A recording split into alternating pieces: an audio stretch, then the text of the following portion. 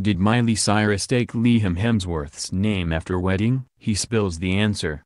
Does Miley Cyrus have another name to go by, you know, other than Hannah Montana? Her new husband, Liam Hemsworth, gave the truth and revealed even more details about their married life. Just weeks after Liam Hemsworth, 29, and Miley Cyrus, 26, married on December 24, 2018. The groom stopped by Live with Kelly and Ryan to reveal if any last names have been updated. After Liam settled into his chair, host Kelly Ripa first addressed his wife as Miley Cyrus, and the Australian hunk stopped her there. Miley Ray Hemsworth now, actually, the Isn't It Romantic star gently corrected Kelly during the interview on February 8. He even revealed whose idea it was. She will still be obviously known as Miley Cyrus, but she took my name, which is great. That was honestly one of the best things about it. I didn't ask her to take my name, but she was like, no, of course I'm taking your name. To that,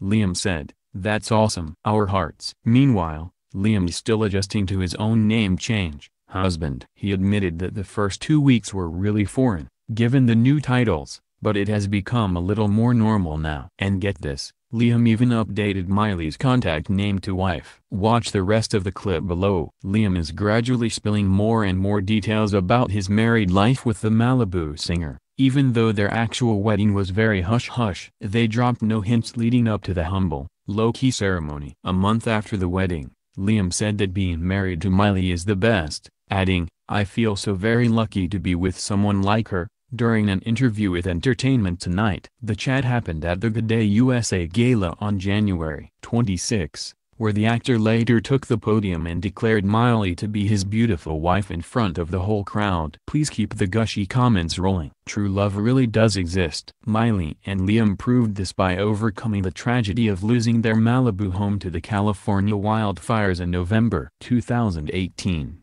and by salvaging their once off again, on-again relationship that spanned a decade.